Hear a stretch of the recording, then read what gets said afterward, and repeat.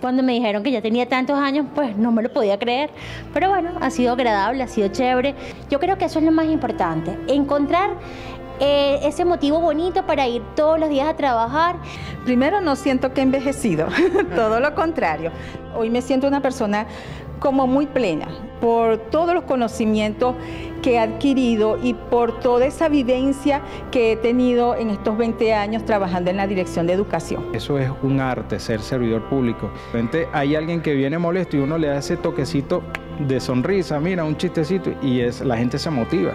Y eso es bastante satisfactorio dentro de la gobernación. Lo considero como una familia, porque a veces tenemos una casa pero no tenemos un hogar. Y eso es lo que yo he sentido durante estos 10 años aquí en la gobernación.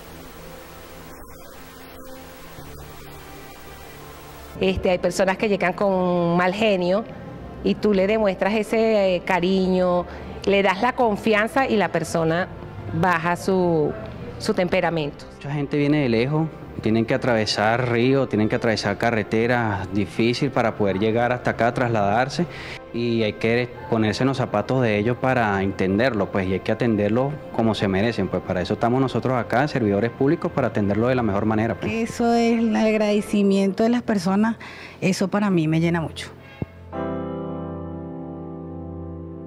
A lo largo de estos 10 años tú vas descubriendo cómo te vas involucrando con una gestión, cómo vas conociendo a la gente, cómo vas conociendo las necesidades de la gente.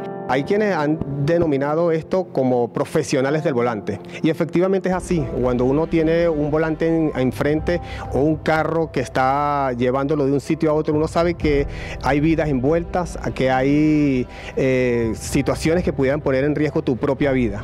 Con este trabajo en la gobernación de Miranda, eh, me ha ayudado mucho, he podido darle los estudios a mis hijos, ya voy a tener una futura licenciada.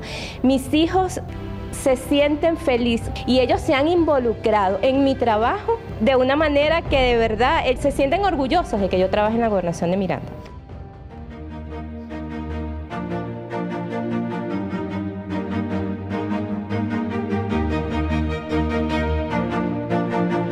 Esta crisis pasará. Vamos para adelante, si no podemos por un lado, iremos por el otro, pero tenemos que ir para mejor, nunca para peor. Sí se puede en Miranda y Miranda sale con la educación, primero que nada. Sabemos que estamos pasando por una situación difícil, pero que con nuestro esfuerzo, con dedicación y con empeño podemos lograr las cosas. Tengamos las esperanzas que esto va a cambiar y que vamos a volver a ser la Venezuela que éramos antes. Música